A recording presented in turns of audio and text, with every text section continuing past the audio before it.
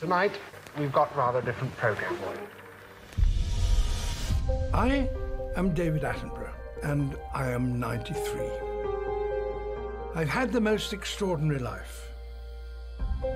It's only now that I appreciate how extraordinary. The living world is a unique and spectacular marvel. Yet the way we humans live on Earth is sending it into a decline. Human beings have overrun the world. We're replacing the wild with the tame.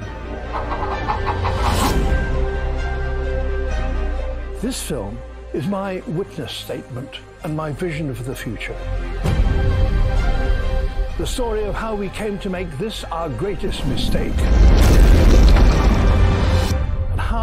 If we act now, we can yet put it right.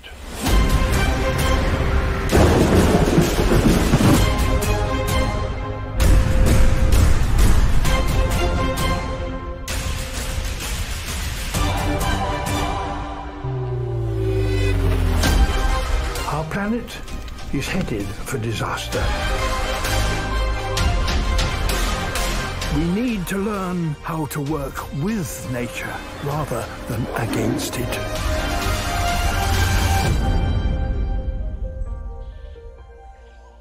And I'm going to tell you how.